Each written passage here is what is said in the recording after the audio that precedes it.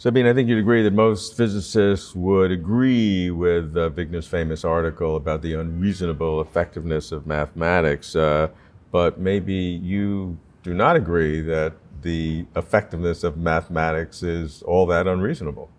No, I do not think that it is all that unreasonable that mathematics is effective in the natural sciences. Um, because what is mathematics about? It is um, a way to describe patterns, to describe regularities, and that's exactly what we do in the natural sciences. So there, there is, of course, an underlying question here, which is why is the universe such that there are patterns for us to discover to begin with? And uh, I think that that's, that's a question which just falls outside of science. Um, so, so that in and by itself is not a question that belongs into uh, my discipline. Um, personally, I think that the more interesting question is why is mathematics so inefficient? in the other sciences. Like if you look at social sciences, uh, for example, or uh, maybe also at um, neurobiology and related disciplines, there's very little mathematics that is actually being used. I mean, you, I say that as a theoretical physicist. Um, so in, in physics, all our theories are mathematical. Um, but uh, that's not the case in other disciplines which brings up the question uh, whether that is a property of nature. Um, is there just um, a limit to what we can do with mathematics? Or is it just a case of we have not yet found the right mathematics? Well, I think in the latter category, in trying to explain these larger phenomena in biology and psychology and then sociology, you have a multiplicity of, of variables which you don't have at the physics level. If you're a reductionist, then you have everything in, in neurobiology composed of the physics, and you have sort of a factorial relationship among all these prob probabilistic things. You, you have just a, a hugely unwieldy uh, uh, universe to apply mathematics. So, but I, th I, think there's a deeper question, and I agree with you that mathematics uh, uh is a, a way to describe patterns uh, that's correct. But the question comes up: Why are why are the why are the patents in nature you're putting aside? Okay, but there's, a, there's an intermediary question: Is that why are the patterns in nature such that many of them have a a, a unity of specificity?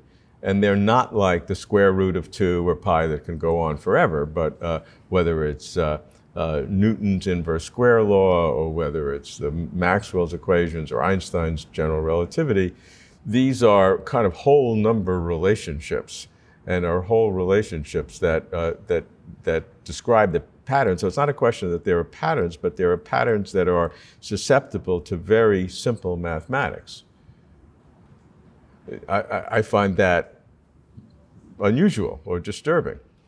Well, again, you could argue that maybe we have only been able to find the patterns that we can describe with simple mathematics.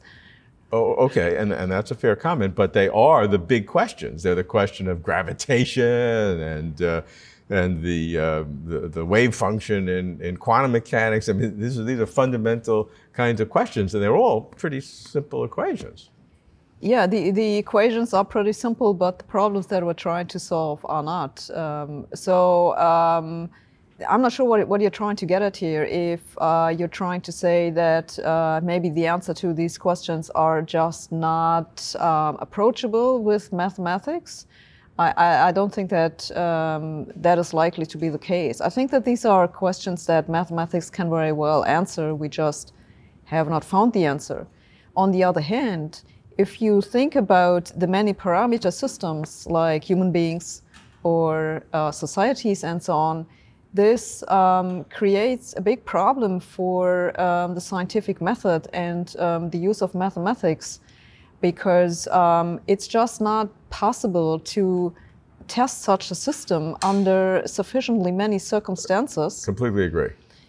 So, I, I, and, and then there's the question, what do you do? You know, will you ever be able to actually understand what human societies do, for example? Well, I think that's the question. Can you deeply understand something without using mathematics?